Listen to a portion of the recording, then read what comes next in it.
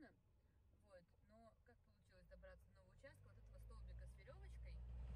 Вот. Сейчас покажу, сколько у нас теперь земли.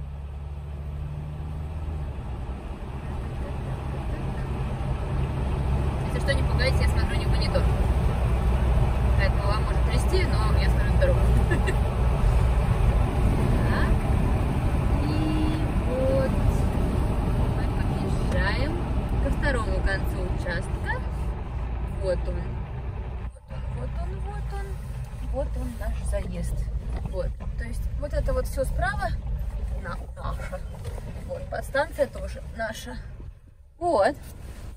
Такая история. Так, ребята, еще раз извиняюсь, если темно. Но у меня не получилось доехать ранее. Сейчас всего 3.30, рано темнеет. Зимой. Вот. Ну, плюс погода сейчас не солнечная. Это, в принципе, я все показывала, но я к тому, что начали. Поставили эти палки, колышки уже на месте будущих э, строений. Вот. Здесь будет бытовка сейчас строительная, потом сторожка, она же, который, значит, ну как сторожка, э, ну сторожка, да, и потом этот контрольно-пропускной пункт на эту территорию, потому что вот эта территория, на которой, вот, ну, вот этот кусочек, эй, не закружимся, он технический будет, он здесь будет всякие здания, кормокухни, э, виварий, там, для кормовых животных, вольеры для тех животных, которые дикие, которые лечатся там и выпускаются тут, в смысле, выпускаются в природу. Вот. Вот эта разметка, не знаю, видно красный, да, немножко красный. Это вот здание будет у нас э, клиники. Вот. Тра-та-та-та-та-та. Вот оно, вот оно. Где-то там намотано. Так, вот это вот здание, э, этот виварий 6 на 6 метров. Вот. А вот там вот туда. Вот, вот, вот, вот, вот туда. Так, вот это вот, я так понимаю, еще колышки. Да, это еще колышко клиники. И где-то вот тут вот за клиникой сейчас дойдем. А, вон. Э, птичьи вольеры. По принципу, пока первые вольеры такие, как у меня есть сейчас деревянные. Вот. Потому что они, в принципе, себя оправдали. 10 лет они прослужили. И вот, соответственно, туда дальше, вон, следующего столба, 15 э, метров в длину, будут эти деревянные вольеры. Вон, и в ширину. Следующий полос.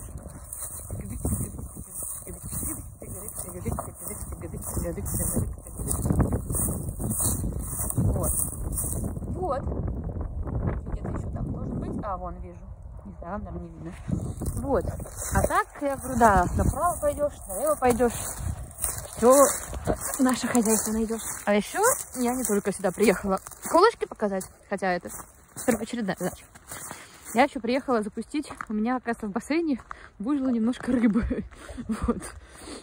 Ну, в выдрячем бассейне. И я решила ее запустить в этот пруд. Сейчас я тут наколупаю дырочку с края и запущу туда там оставшихся рыбешек. Я их с собой привезла, потому что бассейн-то все я уже слила наконец-таки окончательно. А рыбку надо выпустить. Вот, поэтому сейчас я возьму какой-нибудь ломик железный и навтыкаю тут дырочку. Покажу потом. Вот. вот она моя бедная рыба в такой болотной воде, потому что я сначала себе сливала воду, а потом уже ловила рыбу и ловила ее. Так, нет, подождите, я сейчас еще немножко колону, прямо от берега, чтобы ее залить. Да-да-дам, да-да-дам. Ксюха железякой. Так. Не буду. Оп!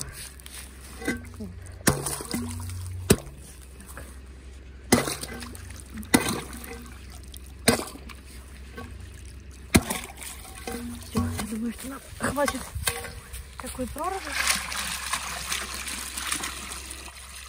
Так, пошла. Первая я видела.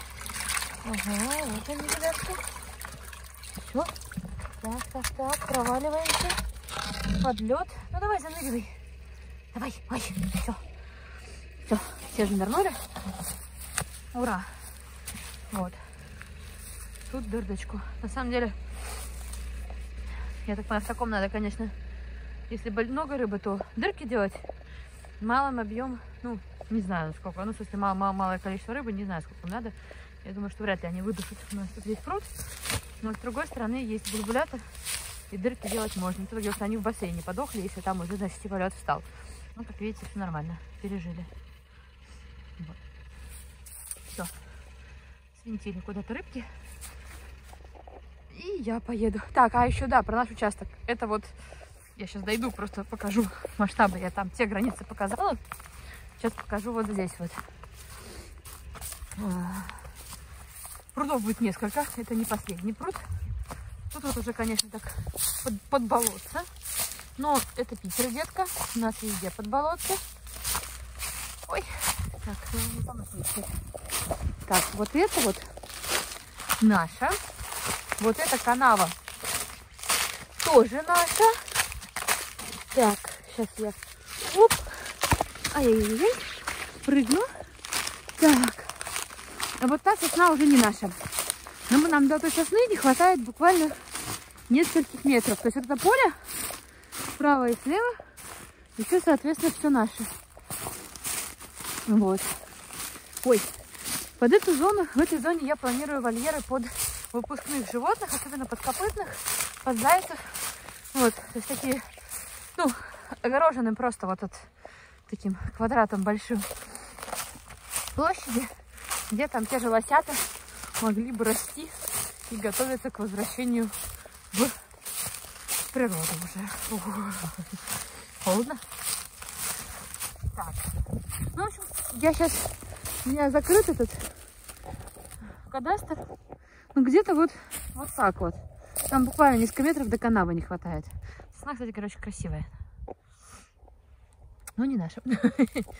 Так что у нас, я не помню, могу потом посмотреть, типа метра три, что ли, четыре, может, до канавы не достаем. Вот до этой вот, вот до этих деревьев, то есть чуть-чуть не до них не доходим. Ну вот, вот до этих деревьев мы чуть-чуть не доходим. Вот. А там моя машинка стоит. И это она стоит еще не на, не, ну, на третьей где-то участка. Нет, на середине. Да, где-то на середине участка. Юху! Просторы! Ну, большие просторы, конечно, требуют больших вложений. Вот один, там, не знаю, съезд, чтобы могла заезжать грузовая машина, чтобы материалы завозить. Мы отсыпали. И туда ушло несколько, несколько этих э, КАМАЗов щебня и вышло там на 80 тысяч. Все это мероприятие просто отсыпать въезд. Вот. Ну, да. И это недорого, при том по объему именно КАМАЗов. То есть нормальный дешевый щебень тут, ну как недалеко. Вот там в конце полей, вот там в конце полей, там есть карьер. Вот, с него, я так понимаю, что везли. А тут надо сажать еще сады. Ну, не прямо здесь, я думаю, что с той стороны. Вот эти места оставить вообще дикими. Здесь заса засадить, ну, хочется посадить рябину побольше, черноплодные рябины. Потому что это то, что едят животные, это можно прям в вольерах сажать. А все эти яблони, груши, это вот то поле, которое раз, э, чистое, которое... Так, я как-то сюда зашла. А теперь... А, вот там я зашла. Ай, малины, да, надо посадить побольше. Ежевики. Всякого-всякого разного. Эти канавы довольно прикольные. Мне, конечно, будет углублять и дренажные, потому что что-то как-то не очень дренажные. Вода оттуда не уходит. Ну, вот с поля, в смысле, надо будет перекопать все это дело весной побольше накопать поперечных дренажных и это. Но сами по себе идея канавки, она хорошая, их тоже можно будет задействовать под э, вольеры. Прям включать как бы в какие-то вольеры для там, не знаю, околоводных животных. Прям не водоплавающих, таких, которые водичку при этом любят. Какие-нибудь там цапли, не знаю, еще кто-нибудь. Вот. Короче, можно будет так. Ой, ой, ой, ой, ой, ой, ой. Так, ну, видите, как вода-то высоко, и пруд высоко, да, там ниже. В общем, будем разбираться уже весной. Красиво так замерз. Прудов тоже несколько, естественно, выкопаем, это поставим. И еще несколько откопаем, потому что животных у нас много, которые любят воду, и потом она нужна. Медведи в вольерах обязательно пруд должен быть, конечно же, чтобы им было хорошо и весело. Так, рыбки все убежали? Все убежали. Все, и мне пора. Поеду я. Спасибо всем, кто нам помогает, кто делает наши, как это сказать, стройки возможными. Всем нашим спонсорам. Потому что это, конечно, неимоверно огромная история. И такая прямо серьезная. Вот. И мы без вас, конечно, совсем бы не справились. Ой, начинаем, прикольно. Вот скоро на днях будут сваи крутить ребята, и потом уже делать вольеры и здания. То есть вольеры вроде как первый птичий наш нашелся спонсор, если там все это ну, сорвется, ну, всякое бывает. Вот.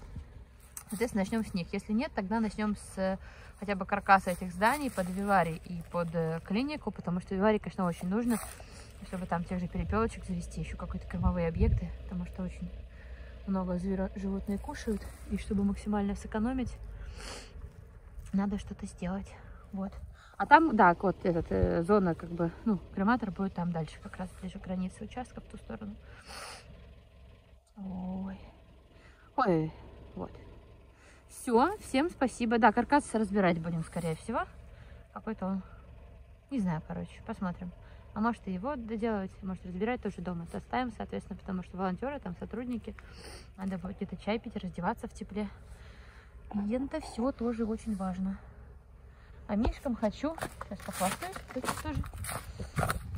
Мишкам хочу вот туда дальше сделать там типа 30 метров где-нибудь большой вольер с природным грунтом. Ну, эта история будет уже чуть попозже. Сначала надо сделать вольер, куда переезжать, потом разобрать старый. И с помощью его, докупив материал, собрать уже здесь такой прям большой-большой. А я говорю, хочу все-таки природные грунты, чтобы они могли бегать по земле, и чтобы пруд у них был, ну, примерно как вот у Белой скале, которая это украинский центр реабилитации бурых медведей ну, как приют даже, не центр реабилитации, да, они все-таки берут животных, которые взрослые уже, которых нельзя выпустить, и содержат их. Достойно, очень достойно, прям посмотрите в Инстаграм, у них есть страничка, Белая скала они называются, очень, очень хороши, вот, хочу как у них, чтобы было много места, и медведь, мишка, и всем остальным зверушкам. А вот с этой стороны за, за прудиком, да, там пойдут чевалеры как раз для орлов. Следующий конструктив, который планируем строить. С одной стороны, я рада, что подморозило, что можно проезжать на машине. С другой стороны, снега, конечно, много. Не все хотят снега, а я не хочу. Потому что много снега, это, ну, будет сложнее строить. А, поэтому я, короче, не как все. Мне в этом году очень нравится теплая зима. Пускай будет, по крайней мере, какое-то время. Ну, такой нет, не очень теплый, в общем, не лягут. Такой средний теплый около там, минус 5, чтобы было и вашим, и нашим. Вот.